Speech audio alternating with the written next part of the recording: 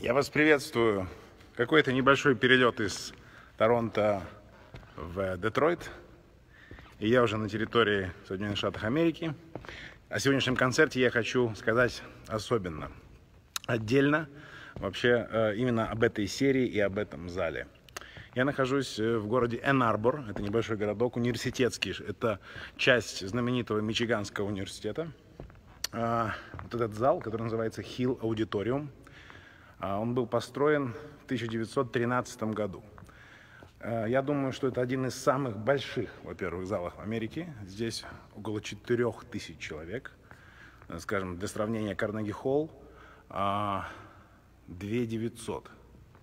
Вот, огромный абсолютно зал с несколькими амфитеатрами, с, просто с удивительной акустикой. Здесь надо сказать, что вот с 2013 года существует эта знаменитая серия.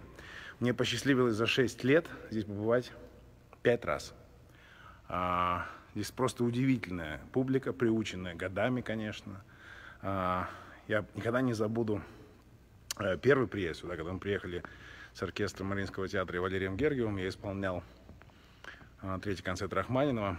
Ко мне подошел пожилой американец – и сказал фразу, от которой я просто впал в стопор. Он сказал, что я этот концерт слышал в исполнении автора, в исполнении Рахманинова в 1942 году. Рахманинов принимал участие в этой серии 9 раз. 8 а, раз с сольными программами.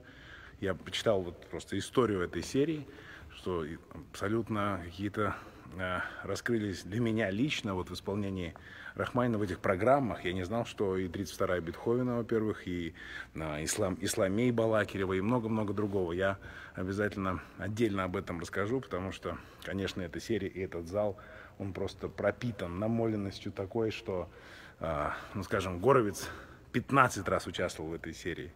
В этом году здесь оркестр Берлинской филармонии, который играет здесь два концерта, и многие-многие другие. Еюма, я смотрел программу этого сезона. А, директор этой серии, а, президент UMC, так называемого вот этого а, общества и серия знаменитых артистов, э, Бен Фишер, последний сезон в этом году.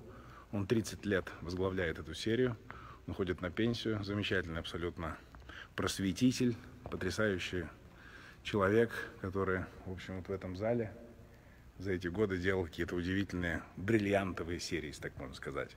Просто феноменальный зал, с, просто с такой удивительной, а, громадным масштабом.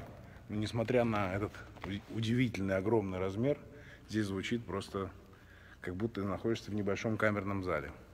Вот, так что большой привет из Энн-Арбора. Сегодня будем играть уже на американском стрингвее. До встречи.